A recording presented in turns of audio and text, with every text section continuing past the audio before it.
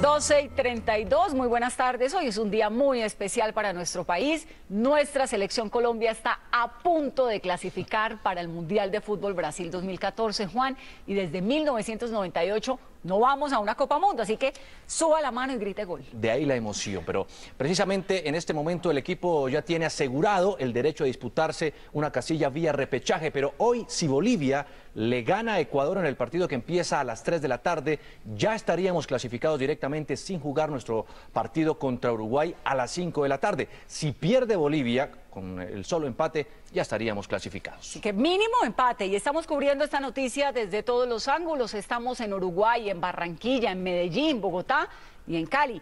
Pero vamos a ir a Montevideo, Uruguay, con la cabeza del gol Caracol, don Javier Hernández Bonet. Javi, buenas tardes. Vanessa, muy buenas tardes. Dos de la tarde, 33 minutos aquí en territorio uruguayo y estoy contigo. Alce la mano y cante gol. Esa es la consigna del día de hoy de todos los colombianos para enfrentar a un rival muy difícil, muy complicado, al que hace rato no derrotamos en el Estadio Centenario de Montevideo, Uruguay, donde se va a significar el partido en el día de hoy. Pero como nos eh, vamos a meter ya en materia y conocer cuál es el ambiente que hay en torno a nuestra selección Colombia, mientras vemos la panorámica del estadio que está en perfectas condiciones, se ha solicitado por parte de Uruguay Uruguay 10 recoge bolas, normalmente son 7. 10 balones de sustitución para este partido, lo que indica que van a salir con todo y que no quieren perder un solo segundo del partido. Pero ¿qué está ocurriendo en la concentración de Colombia en el Hotel Sheraton aquí en la ciudad de Montevideo? Nos vamos con Johnson Rojas que nos tiene información a esta hora. Johnson, buenas tardes. ¿Qué tal, Javier? Buenas tardes. Pues mucha tranquilidad aquí en la concentración de la selección colombiana de fútbol. Yo me retiro para que observe que ya está el equipo de logística, de toda la utilería. Algunos hinchas que han venido a acompañar seguramente esperan la salida de la selección. Y por supuesto, en pocos minutos empezará a empacar todo lo que tiene que ver con los balones, con la utilería, los uniformes, para que el equipo tenga todo lo necesario y así consiga una, un buen resultado, un empate o una victoria que nos dé la, de una vez por todas la clasificación a Brasil 2014. El equipo en la mañana ha hecho una merienda, eh, repasaron el video, todas las instrucciones de José Peckerman y a las 5 y 15 de la tarde parte rumbo al estadio.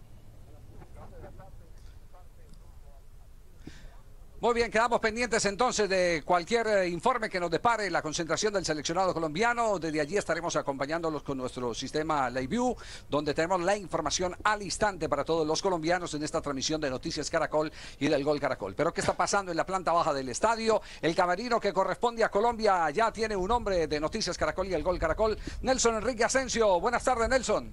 Hola Javier, muy buenas tardes. Esta es la casa oficial de la selección, por lo menos de manera temporal, donde estará el equipo colombiano y donde espera vivir los 90 minutos más brillantes de la última década, que nos dé la posibilidad de clasificar a un campeonato mundial. Además, Colombia quiere romper eh, esa, eh, infortunadamente, mala racha que ha tenido en los últimos 40 años, porque no ha ganado aquí desde 1973, cuando lo hizo un gol por cero con anotación de Willington Ortiz, equipo que dirigía un serbio, Tosa Veselinovic. Hay novedades en, en la formación del equipo colombiano, como ya he sabido, no va Magnelli Torres, porque infortunadamente sufrió un problema de rodilla y por lo tanto no va a ser tenido en cuenta, incluso quedó desafectado totalmente de la selección. En contados minutos, por esta puerta, Javier, donde dice aquí, Federación Colombiana de Fútbol, estará ingresando el equipo nacional. En una hora llega la utilería y en dos horas y media aparecerá el equipo dirigido por José Néstor Peckerman, que sería el cuarto extranjero que tiene la posibilidad de dirigir al seleccionado colombiano aquí, en este mítico estadio, el Centenario de Montevideo, donde se jugó el primer campeonato mundial en 1930 y donde la selección charrúa se coronó como el primer gran campeón. Yo también levanto la mano para cantar gol en el Gol Caracol. Nos vamos en este momento a la planta baja en el sector donde estará saliendo el equipo uruguayo. Está eh, Juan Pablo Hernández. Condiciones del terreno de juego, temperatura y todo lo que tiene que ver con eh, el entorno de este partido. Juanpa, buenas tardes. ¿Qué tal, eh, Javier? muy buenas tardes. Un ambiente bastante agradable, una temperatura para que ustedes se vayan haciendo idea ya en Colombia, más o menos como en Medellín o como en Cali. No mucho calor, pero está agradable para jugar a la pelota aquí en el Estadio Centenario. El terreno en perfectas condiciones, la cancha se ve bastante bien y nosotros estamos pendientes de todas las novedades del conjunto Charrúa. Más adelante compartiremos la nómina. Eso sí, les anticipamos cuatro novedades tendrá el conjunto del maestro Tavares para enfrentar a Colombia esta tarde. Bueno, la de Colombia solo la sabremos cuando llegue el equipo aquí al Estadio Centenario de Montevideo, Uruguay, pero esta es la tentativa, por lo menos la que se conoció después de la última práctica que realizó en este mismo escenario ayer en las horas de la tarde. En la portería iría David Ospina, lateral derecho en el equipo colombiano Juan Guillermo Cuadrado, acompañado de Mario Alberto Yepes y de Valdés. Yepes jugará por izquierda, Valdés por derecha, y sobre la zona izquierda, el marcador derecho que han eh, lanzado hacia el sector donde trabaja en el Nápoles como lateral izquierdo Zúñiga. Medio campo con Sánchez, con Abel Aguilar, con eh, Aldo Leao Ramírez, James Rodríguez y los dos punta, el jugador Falcao García y Teófilo Gutiérrez. Esa es la tentativa del equipo colombiano. Los pensamientos de Peckerman, aquí están, el técnico de la selección Colombia. Peckerman evita el triunfalismo sabe que enfrentar a Uruguay es jugarse una final adelantada entre dos selecciones con grandes estrellas. Siempre es, un partido bonito de jugarlo, pero también eh, con consecuencias importantes si uno no, no está en un buen día o no tiene un buen rendimiento. Pese a la urgente necesidad de triunfo de los uruguayos, Peckerman mira con mucho respeto a los actuales campeones de la Copa América. Respetamos mucho a Uruguay, muchísimo, por todo. O sea, no es solo por su necesidad, eh, es por lo que es como equipo, por, la jerarquía de los jugadores, por, por el nivel que, que tiene. A Estefan Medina aún no lo convoca como titular, pero habló maravilla del defensor del Atlético Nacional. A pesar de su juventud, tiene muy buenos conocimientos y, y puede, puede tranquilamente eh, jugar en esas posiciones. es un central adaptado a jugar de lateral, eh, entiende bien las situaciones tácticas y, bueno, es una posibilidad que tenemos también ante, ante esta ausencia. José Néstor Peckerman es el tercer técnico argentino que dirige a Colombia en Montevideo, después de Rodolfo Orlandini y de Carlos Salvador Vilardo.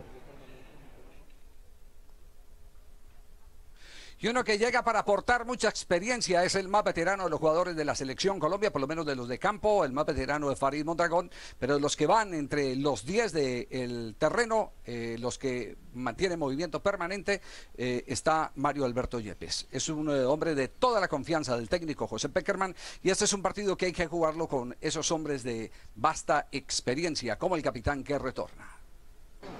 En los momentos decisivos aparecen los líderes y Colombia recupera a su capitán. Yepes regresa en la recta final rumbo a Brasil 2014. Estoy concentrado en, estos partidos que faltan, estos tres partidos y tratar de conseguir la, la clasificación. Su entrega y jerarquía sin duda pesarán el Estadio Centenario, una cancha difícil donde Uruguay registra tres victorias y tres derrotas en esta eliminatoria. Sabemos lo que significa jugar con Uruguay en Montevideo. Sabemos la historia de Uruguay, sabemos que va a ser un partido complicado como han sido todos los de eliminatoria que hemos tenido que afrontar acá.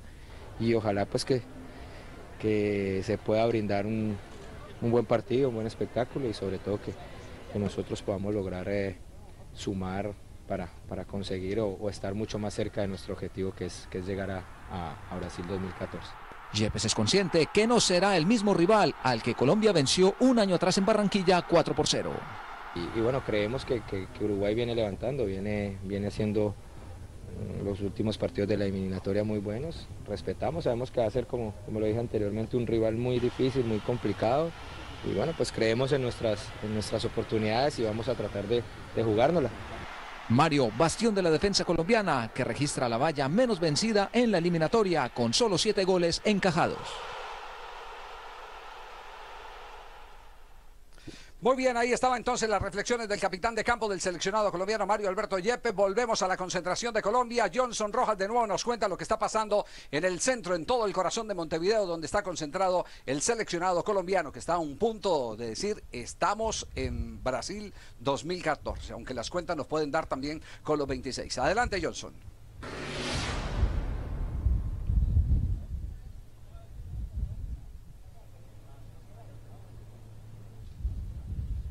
Claro que sí, Javier. Por supuesto que los hinchas que han venido a acompañar a la selección colombiana de fútbol cerca de 300 aficionados están, eh, por supuesto, con esa ilusión de que el equipo consiga de una vez por todas la clasificación y han traído camisetas, banderas, cánticos, pero un grupo muy especial que viene siempre a acompañar a la selección en los diferentes partidos de visitantes se ideó un cheque, un cheque que quieren cobrar en el Estadio Centenario.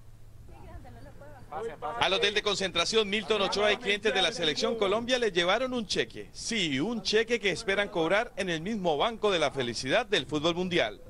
Este es un día histórico y está, y está fechado con el día 10 de septiembre del año 2013. Volvemos al Mundial de Fútbol. Es tanto el deseo que lo quieren cobrar de forma anticipada. Nos lo pueden estar dando por adelantado porque estamos esperando el primer resultado y si se da, vamos a celebrar, Dios mío, todos los colombianos.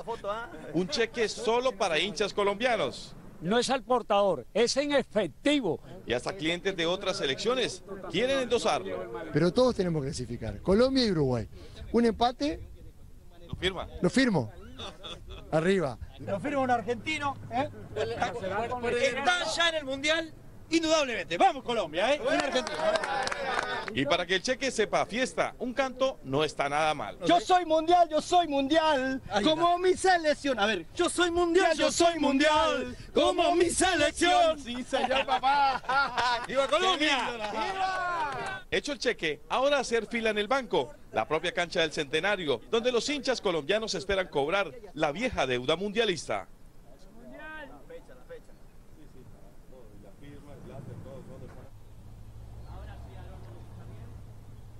Es la alegría del pueblo colombiano que está contagiado con esa selección colombiana de fútbol y que espera que de una vez por todas ya no se, se acabe la espera y vuelva después de 15 años a una Copa del Mundo.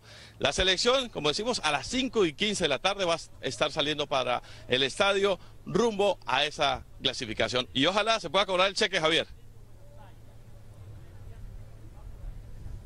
Muy bien, perfecto. Gracias, Johnson. El optimismo de los hinchas, eso empuja. Definitivamente toda esa energía bien sumada nos da como resultado una exitosa clasificación. Eso es lo que estamos esperando en el día de hoy. Habló el maestro Oscar Washington Tavares, un viejo conocedor del fútbol colombiano, y se refirió a esta selección Colombia con mucho, muchísimo respeto. El técnico Oscar Washington Tavares delineó el partido que espera le plantee la selección Colombia. Lo de Colombia afuera se ve, por ejemplo, en el partido que jugó con Argentina. Yo creo que va a venir a plantear un partido de eso, tomando precauciones defensivas, pero también este, aprovechando el manejo de su mediocampo. Y también con quién debe tener ciertas precauciones. Los esquemas de ataque a través de los movimientos de, de Falcao, sobre todo, que es un, es un animal del área, ¿no? es un especialista. Para Tavares y la selección uruguaya el partido será fundamental, por eso estudió bien la forma en la que Colombia afronta los juegos. Tenemos muy claro cómo ha jugado Colombia, las pequeñas variantes que ha hecho muchas veces cuando juega de visitante, pero es un equipo duro con, contra el cual hay que trabajar mucho ¿sí? y más allá de que queremos el resultado, sabemos que pasa también por, por defender bien, por, por, marcar bien, por estar bien parados.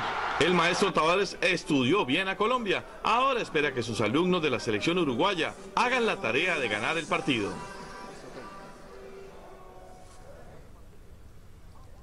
Bueno, y es tiempo para repasar la probable formación del equipo uruguayo. Juan Pablo Hernández, que está ahí en la boca túnel del equipo Charrúa, nos anticipa los que pueden ser los 11 del maestro Tavares para la tarde de hoy en el Estadio Centenario de Montevideo. Juanpa.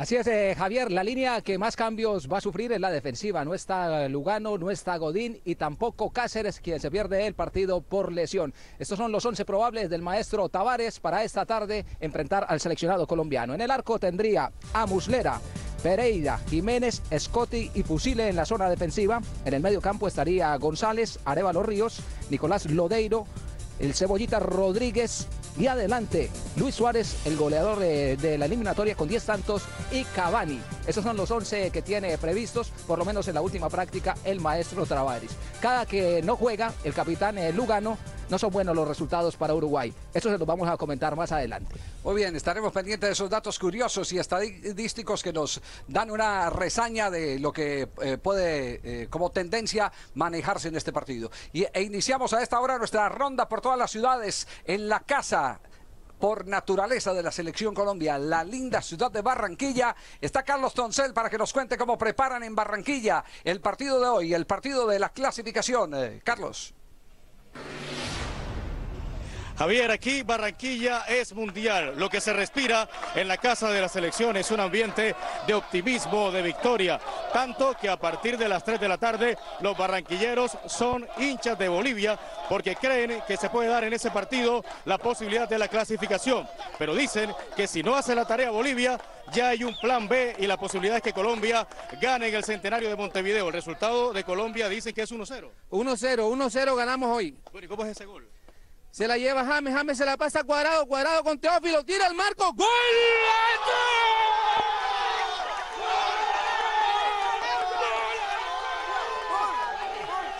Ese es, eh, Javier, el optimismo que se vive en la casa de la selección. Un optimismo que está tan alto como la temperatura en la arenosa.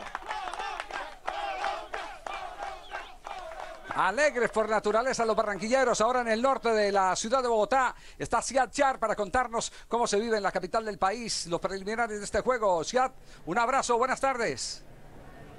Javier, pues yo me encuentro en la zona T de la ciudad de Bogotá, donde a esta hora comienzan a llegar todas las personas que quieren disfrutar del partido Colombia-Uruguay en los bares y restaurantes de esta zona, que todos tienen dispuestos pantallas que ya están sintonizadas con el canal Caracol, porque hoy es tarde de fútbol. El gol Caracol lleva a todo nuestro país los partidos de las eliminatorias de Brasil 2014 y sin duda alguna, para nosotros los colombianos es un día muy especial, porque todos estamos esperando esperando que cerca de las 4 y cuarto que comience la transmisión del partido de Colombia-Uruguay, nuestra selección tenga el tiquete al Mundial de Brasil 2014. No vamos desde 1998 que jugamos en Francia al Mundial, así que hoy sin duda alguna será un día muy especial y todos esperamos que sea un día de celebración para los colombianos. Nos vemos más adelante desde la zona T. Muy bien, perfecto, gracias Y Ahora nos comunicamos con la ciudad de la eterna primavera. La selección Colombia le aporta eh, a Medellín mucha alegría, como Medellín desde hace mucho tiempo le ha regalado muchas alegrías al resto del país con jugadores que llegaron a la selección Colombia. No podemos olvidar en este momento el que parte de este reinicio de Colombia como gran eh, protagonista de los mundiales se dio justamente con aquella camada de jugadores de Atlético Nacional dirigidos por Pacho Maturana. Así que Lina López en la capital de la montaña, nos cuenta cómo se está viviendo en la ciudad de Medellín la eterna primavera de esta selección.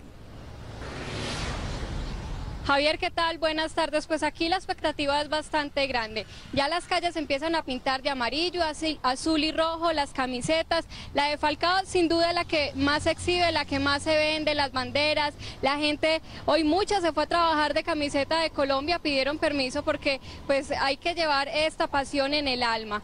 Se tiene previsto, sobre todo aquí en el obelisco donde nos encontramos situados, que la gente se reúna, que la gente llegue a eso antes de las 5 de la tarde, porque si hay eh, celebración anticipada, pues ya estarán reunidos y podrán eh, en una masa bastante grande eh, poder celebrar lo que sería la clasificación de la selección Colombia. Acá en el obelisco entonces esperamos para que a través de las pantallas del Gol Caracol la gente nos acompañe y acompañe a la selección Colombia que tienen expectativa y sin duda la ciudad paralizada.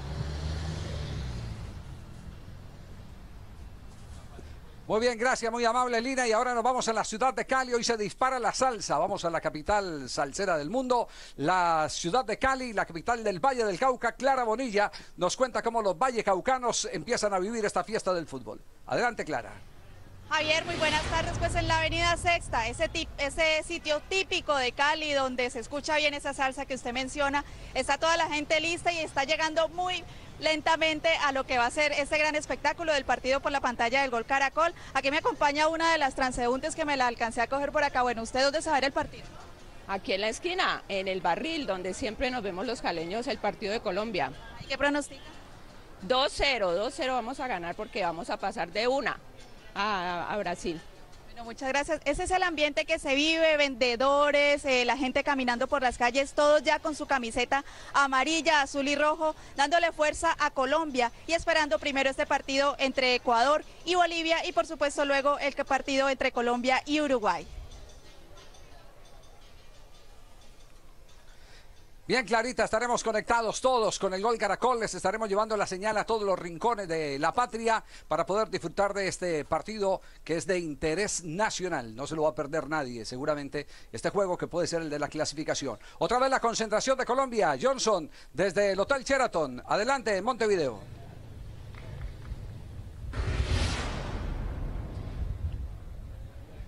Javier, hay movimiento y tenemos también un invitado, el jefe de seguridad de la selección colombiana de fútbol, Gustavo Morelli. Bueno, ¿cómo es el operativo para esta tarde en el partido frente a Uruguay? Bueno, ya en este momento, por ahí en 10-15 minutos sale la utilería, salimos para el estadio, eh, hacer las respectivas eh, revisiones que tengo que hacer y la selección está saliendo más o menos dos horas antes del partido rumbo al centenario. Bueno, Gustavo, ¿qué es lo que más se prepara en ese tipo de operativos? No, digamos que la idea es que los jugadores, el cuerpo técnico estén muy tranquilos, que no tengan sino que pensar en su partido, que no tengan otra cosa en que distraerse, tenerles todos previsto, que el camerino esté ordenado, la seguridad, el ingreso sea por donde se acordó, en fin, tratarles de, de- de aligerar a ellos algunos temas que, que- que no tienen por qué ser de, de parte de ellos y darles la tranquilidad que merecen los jugadores y que necesitan para hoy. ¿Qué otros detalles ha tenido esta estadía aquí en Montevideo de la selección? No, aquí ha estado un poco más tranquilo, aquí pues obviamente estamos de visitante, no tenemos las facilidades que tenemos de local, pero, pero igualmente ha salido las cosas muy bien conforme a lo previsto por el cuerpo técnico. Bueno, entonces la utilería ya empieza a montarse, ahí salen los balones, está Willy, está todo el mundo trabajando para que la selección no le falte nada y por supuesto en el estadio de Montevideo se consiga esa clasificación, Javier. Gracias, eh, Johnson. Nelson, ahí en el vestuario eh, todavía no hay ningún tipo de movimiento de la delegación de Colombia, ¿no? Eh, no, señor, No, deben, estar llegando más o menos en una hora, hora y diez minutos la primera avanzada de la utilería del equipo colombiano. Y ojo que hay que tener en cuenta, Javier, que hay ocho jugadores que tienen cartón amarillo. Es cierto que primero hay que pensar el partido frente a Uruguay para posteriormente ver si son sancionados o no, si le sacan amarilla para enfrentar a Chile. Pero nuestra obligación es contarles que Camilo Zúñiga, Luis Amaranto Perea, Carlos Valdés, Abel Aguilar, Carlos Sánchez, Juan Guillermo Cuadrado, Falcao García y Teófilo Gutiérrez son los hombres que están, digamos que con el semáforo en este momento en amarillo. Matrícula condicional que llaman. Exactamente, es, Javier. Matrícula condicional. Bueno, hay un jugador que, que ha sido muy importante en este eh, proceso de selección eh, de Colombia, que cuando Peckerman lo ha necesitado, porque esta es una eliminatoria donde los riesgos de la acumulación de tarjetas, como decía Nelson, tienen a los jugadores ahí al filo de, de la suspensión, como Armero, que no juega en el día de hoy, siempre del banco tiene que salir una solución. Y digamos que aquí está el hombre que ha respondido a todas esas expectativas, Carlos Valdés. Carlos Valdés analizó minuciosamente a Uruguay, un equipo frente al cual no se puede cometer ningún tipo de error. que es una selección muy equilibrada, es una selección que defensivamente juega bien, eh, en el medio campo tiene jugadores importantes que saben defender muy bien y saben pasar rápidamente al ataque y después en la parte ofensiva tienen jugadores que, que aprovechan cualquier ventaja que, que dan los rivales, eso lo- los hace fuertes, los hace una selección grande. Colombia quiere seguir siendo fiel a su estilo, donde todos los componentes del equipo tienen la obligación de defender, pero también de atacar.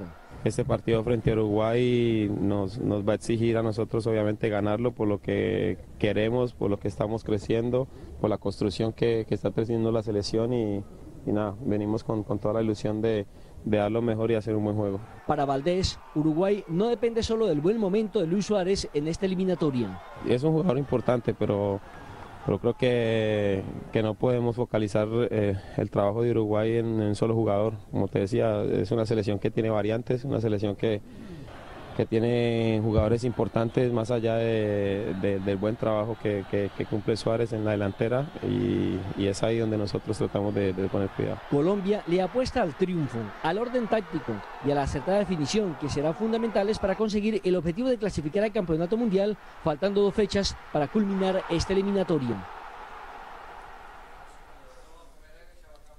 Les confieso que por lo menos aquí en esta cabina de Noticias Caracol y Gol Caracol la temperatura está como si estuviéramos en la ciudad de Barranquilla, arriba de los, de los 30 grados. No sé ahí en el terreno de juego cómo está, si la cancha además la van a mojar, qué detalles se, se- conocen de lo que puede pasar en los próximos eh, instantes ahí en el terreno de juego, Juan Pablo. ¿Qué tal, eh, Javier? Pues la verdad que hay una brisa bastante agradable. La bandera que está a un costado del estadio, se sigue ondeándose la bandera de Uruguay y nosotros tenemos que tocar por lo menos eh, por cultura general en el fútbol el césped del estadio Centenario. monumento del fútbol mundial. Ahí dice, ¿Está Capo Estadio no? Centenario. Cortico, está bueno, está en perfectas condiciones para que ruede la pelota. Y un dato curioso que tiene que ver eh, con este césped. Aquí en esta cancha debutó precisamente frente a Colombia Cavani, el segundo goleador del conjunto uruguayo en esta eliminatoria. Tiene tan solo tres goles. El máximo anotador es Luis Suárez. Y yo le había prometido un dato de Lugano. Sí, sí. Cada que Lugano eh, está ausente de la selección eh, uruguaya, termina perdiendo Uruguay por lo general. En seis partidos que ha estado por fuera de la nómina por suspensión o por lesión, ha perdido su equipo cuando no está el capitán en tres ocasiones. 4-1 en La Paz en esta eliminatoria, 3-2 frente a Holanda en el Mundial de Sudáfrica 2010 y 4 a 0 en la eliminatoria pasada frente a Brasil. Quiere decir que ese gran eh, prenda de seguridad, Lugano en esa zona defensiva, un lugar que estará ocupando hoy un juvenil. José María Jiménez, tan solo 18 años. Sí, y no, es lo, y no lo que haga solamente en el terreno de juego Lugano, sino lo que influye en el resto de jugadores de la selección uruguaya. Es de esos que se echa el resto de la nómina al hombro, empuja, es clave en las jugadas de pelota quieta y ese es un factor a tener en cuenta. Digamos que una tranquilidad relativa para el fondo de Colombia que no se puede confiar eh, indudablemente porque hay muchas variantes, tiene mucho poder eh, con pelota detenida el equipo de Oscar Washington Tavares. Pero para entender un poco más la dimensión del partido, pues que uh, sea un veterano de mil batallas como Farid Mondragón el que nos explique cómo eh, asumen al interior de la selección Colombia este juego.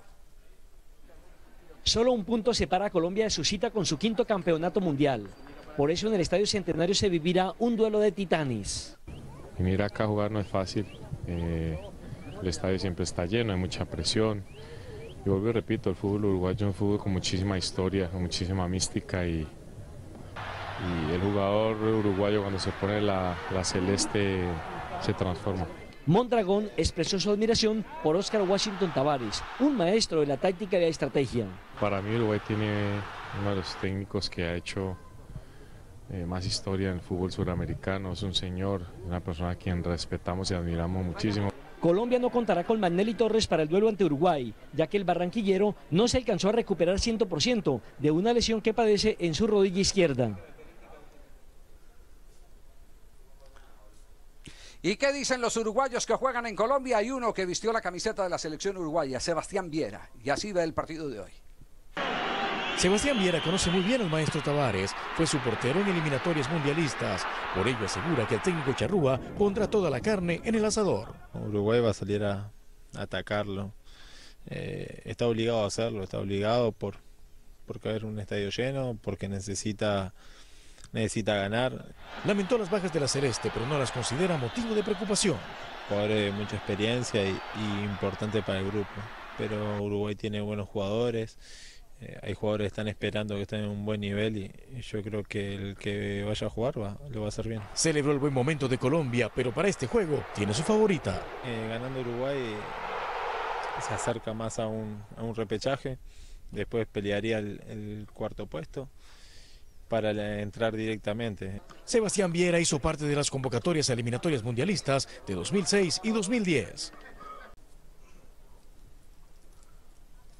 Seguimos comunicados con la concentración del seleccionado colombiano. De nuevo vamos con Johnson. ¿Qué otros movimientos se presentan ahí en el sitio de concentración de Colombia, en el corazón de Montevideo? Johnson.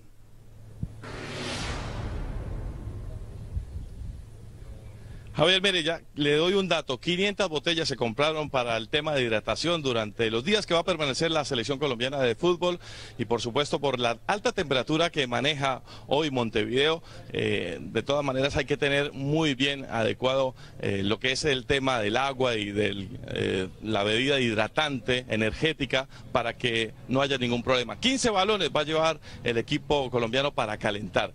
Pero los que han calentado el ambiente acá son los hinchas, los hinchas colombianos en las diferentes calles de Montevideo. Se han paseado, han llevado recuerdos y por supuesto esperan que hoy eh, sea un una cita histórica. Por eso ellos recorren las calles recogiendo todas esas fotos, todas esas historias para llevársela en las calles de Montevideo como el Gran Premio, la clasificación a Brasil 2014. En las calles de Montevideo se vio una pequeña mancha amarilla, los hinchas colombianos que vinieron a acompañar al equipo nacional.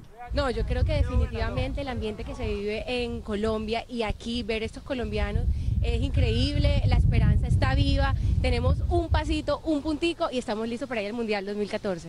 Hinchas que ven con alegría el proceso de José Peckerman. Y el equipo se ha consolidado y lo más importante que ha mostrado corazón y con toda la clasificación aquí en Montevideo. Vamos a ganar. Hinchas que son recibidos por los habitantes con amabilidad. Todo el mundo tiene derecho a manifestarse, siendo pacíficamente y respetando a los demás. Perfecto. La verdad que uno como uruguayo desearía que ganara Uruguay. Excelente, el trato ha sido muy, muy bueno. eh, la gente muy cordial. eh, hay uno que otro que dice cositas, pero, pero uno no le pone cuidado. Fanáticos colombianos que se pasean por Montevideo llevando historias, como la que le pasó a John Cifuentes. Veníamos nosotros atravesando la carretera cuando de pronto un uruguayo, eh, Colombia, te vamos a meter 5-0. Y nosotros le decimos, no, solamente ganamos nosotros 1-0. Y cuando de- no, no pensaron en eso, nada, te ganamos y táquete. Se estrelló el otro carro con, el, con una camioneta. Estrelladas fotos y muchos recuerdos, pero el de la clasificación a Brasil 2014, ese es el más importante y el que quieren llevarse los hinchas colombianos. Bueno, antes de ir con Javier, tenemos un invitado, José Rendón, que eh, hace parte de la avanzada de la utilería y todo lo que tiene que ver con... eh, hablamos del tema de la hidratación, José. Muchas botellas, mucha agua, ¿no? Porque hoy el clima va a estar fuerte en la cancha. Sí, hoy es. Hay que tener el grupo bien hidratadito para, para que ninguno va a presentar, presentar algún problema. Bueno, ¿y cómo ve el ambiente de los muchachos? No, muy bien, muy bien, el grupo motivadito. Ese resultado en Barranquilla nos, nos fortalece y hoy estamos tranquilos. ¿Y usted como colombiano cómo se siente? Muy bien, muy bien, feliz. Feliz con mi selección.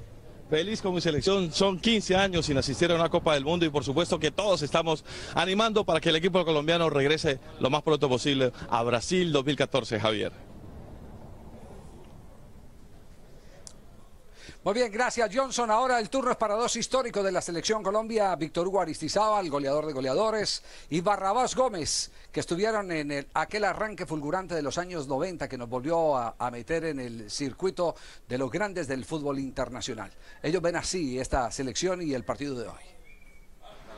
Exjugadores como Gabriel Jaime Gómez y Víctor Aristizábal hablan de los factores que tienen a Colombia a punto de clasificarse. La humildad de los jugadores porque son jugadores que juegan en equipos internacionales muy importantes, que económicamente están muy bien. El proceso que se ha llevado y casi todos los jugadores que están en este momento han sido los que han jugado todas las, toda la eliminatoria y eso es fundamental. Se atreven a asegurar que con 26 puntos y el tercer lugar, Ya estamos en, en el Mundial e inclusive diría yo que hasta perdiendo los tres partidos porque es muy difícil que los otros equipos ganen eh, todos los partidos. pero sin triunfalismos porque hay detalles para ajustar. El colectivo, eh, que no sea individual, que sea individual James o, o Cuadrado. Al partido con Uruguay lo llaman clásico. Para mí es de los rivales más fuertes. Yo creo y considero que es más fuerte que Brasil y, y Argentina en el sentido de que en la cancha de ellos ellos son muy aguerridos. Barrabás y Aristizábal con optimismo ven el posible regreso de Colombia a una Copa Mundo. Muy bien. Eh, una pregunta final para Nelson antes de terminar esta ronda de información de Noticias Caracol. ¿Hay ventilación en el camerino de Colombia o no? Pues Javier, eh, generalmente los eh, mismos miembros del cuerpo técnico piden que eh, se viaje con los ventiladores. Todavía no hemos podido ingresar al camerino para determinar, pero creemos que sí, porque era parte de la utilería del equipo colombiano, lo mismo que traer el agua y el hielo. Son tres cosas fundamentales que nunca han de faltar, y menos cuando se tenía presupuestado que aquí en Uruguay estaba cambiando la temperatura, el clima, y que ya el calor empieza a aparecer en esta parte del continente del sur. Déjeme decirle que hay dos jugadores que en la era de Peckerman no se han perdido ni un solo juego. Estamos hablando de David Ospina, que ya completa 1.305 minutos jugados y solamente ha recibido 7 goles. Y el otro es Falcao García, que suma exactamente 1.178 minutos jugados y 7 goles en esta eliminatoria mundialista, Javier.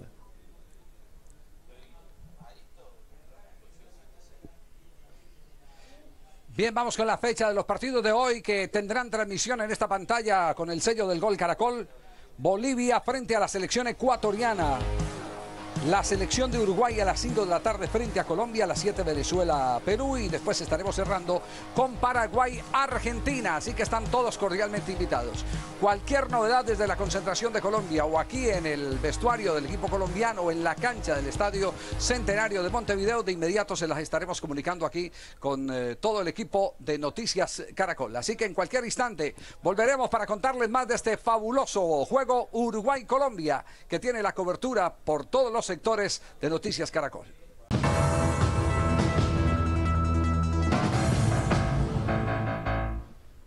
Muy bien, en Noticias Caracol las noticias eh, tienen contexto, así que vamos a ir con la canciller María Ángela Holguín para que nos cuente y nos ayude a entender lo que ha pasado en las últimas horas en lo que tiene que ver con la postura de nuestro país frente al fallo de la Haya. Canciller, muchas gracias por acompañarnos en Noticias Caracol. Buenas tardes. Con mucho gusto, Luis Carlos. ¿Cómo están? Bien, canciller, eh, ¿por qué no se puede aplicar el fallo de la Haya? Eh, Luis Carlos, el presidente ayer fue muy claro en eso. El artículo 101 de la Constitución dice que los límites no se modifican sino a través de tratados que tienen que ser aprobados por el Congreso. Eh, en eso, pues eh, vimos clarísimamente que no puede entonces cambiarse un límite como es lo que pretende el fallo de la Haya, pasando por encima de la Constitución y el presidente pues eh, eh, lo dijo enfáticamente ayer juró eh, hacer respetar la Constitución y por lo tanto pues no es aplicable. Una vez se superen estas imposibilidades que se superan a través de tratados, pues se, podrán, se podrá aplicar. Eh, es decir, Colombia en ningún momento ha dicho que desconoce el fallo de la Haya, esa palabra no la ha utilizado. Lo que se ha dicho es que no se puede aplicar. Esto significa... Eh, en- exactamente. Eh, Esto significa que eventualmente Colombia va a ir a la Haya nuevamente diciéndole, mire, no podemos hacerlo por lo que usted misma nos acaba de explicar o la Haya está descartada. No, la Haya no, porque es un tema, es un tema interno, lo que, se ha, lo que se ha sido claro en decir es no se puede aplicar. Esto, Luis Carlos, vale la pena decirlo, eh, esto ha pasado eh, en muchos casos, esto es algo que comprende la comunidad internacional, esto no es, digamos, algo que, que jamás haya pasado, ha habido, ha habido varios casos en que las imposibilidades por, por, por determinadas situaciones, en este caso por un, tema constitucional, pues eh, lo impide, no hemos desconocido. Eh, no vamos a ir a la Corte, lo que vamos a ir es, eh, el, gobierno ha dicho, yo entiendo esto y, eh, sería a través de un tratado que podemos subsanar esto, pero también puede ser la Corte Constitucional eh, haciendo una demanda de inconstitucionalidad del mismo pacto de Bogotá que haría el gobierno para que la Corte Constitucional colombiana se pronuncie al respecto. E- Es decir, como instancia final de este caso, se está descartando apelar a la Haya. No, el presidente ha dicho, pero digamos ya no es para este caso de la dificultad en su implementación. Eh, ha dicho, no hemos descartado ir a la Haya, pero el caso de la Haya son para recursos de interpretación dentro del mismo fallo. Por ahora no podemos implementar el fallo. Ahora, canciller, usted habló de la comunidad internacional y de la reacción de la comunidad internacional. ¿Qué esperan ustedes que sea la manera en la cual va a reaccionar Venezuela, por ejemplo, el ALBA, por ejemplo, ante la postura de Colombia? No, yo creo que de, respeto sobre esta postura no hay un desconocimiento, lo que se dice es eh, estamos ante unos impedimentos constitucionales, unos impedimentos legales colombianos que, que hacen eh, la, eh, que no hacen aplicable este fallo, pero también estamos dando salidas, estamos diciendo eh, una posibilidad puede ser un tratado, otra posibilidad puede ser que la Corte Constitucional colombiana nos dé igualmente una salida. Canciller, después de lo que dijo el presidente Santos y lo que usted le está comunicando a los colombianos vía Noticias Caracol, ¿qué puede hacer un pescador? El pescador puede seguir yendo a las aguas a las cuales acudía antes del fallo de la Haya o qué tiene que hacer ahora? Eh, un pescador colombiano, Luis Carlos, nunca ha dejado de ir al área, al área donde, antes, donde siempre ha pescado. Los pescadores colombianos han estado pescando donde siempre lo han hecho.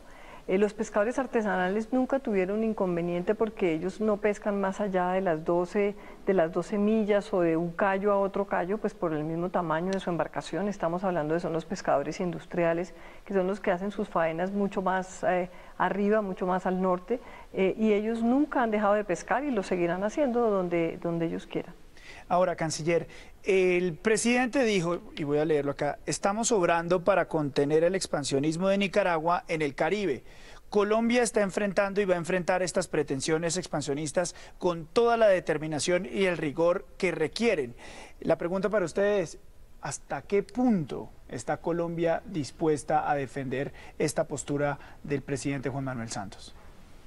Eh, Luis Carlos, en esa, cuando el presidente habla de la actitud expansionista de Nicaragua, estamos hablando de, la, de lo que, de distintos eh, pronunciamientos de Nicaragua sobre su nueva eh, demanda que sería sobre la plataforma continental extendida. Esta, digamos, es una nueva demanda. Ya pasamos eh, el fallo del, noviembre del año pasado. Ahora estamos ante una nueva pretensión que además no solamente pasa por encima de, de aguas, digamos, de plataforma continental colombiana, sino igualmente de Jamaica, de Costa Rica, de Panamá, algo de República Dominicana y algo de Haití.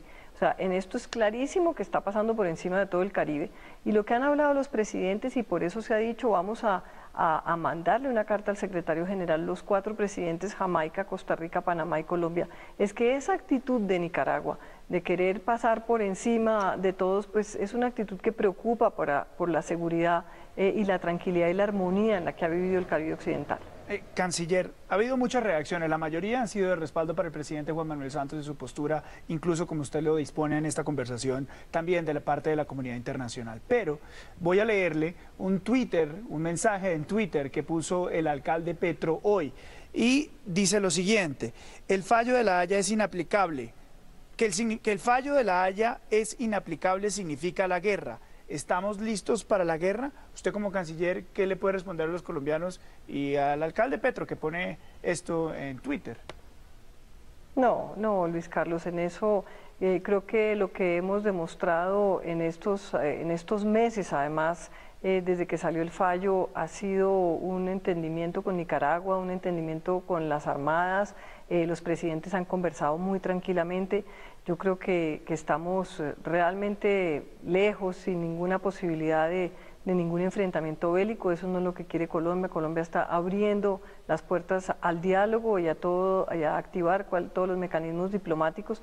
Yo en eso sí estoy completamente en desacuerdo y qué triste que sea el alcalde Petro el que, el que crea pues, que, que eso es lo que Colombia eh, está buscando.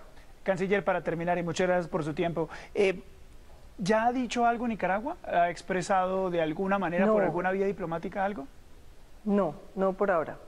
Bien. Oficialmente no. Oficialmente no. Canciller, muchas gracias por acompañarnos esta tarde en Noticias No, a usted, Luis Carlos. Que, Hasta la que estén bien. Regresamos en instantes con más acá en Noticias Caracol.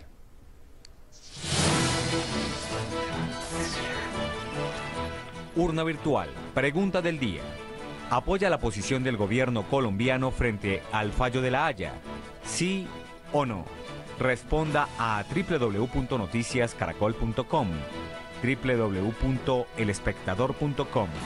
Resultados mañana en nuestra emisión de noticias del mediodía.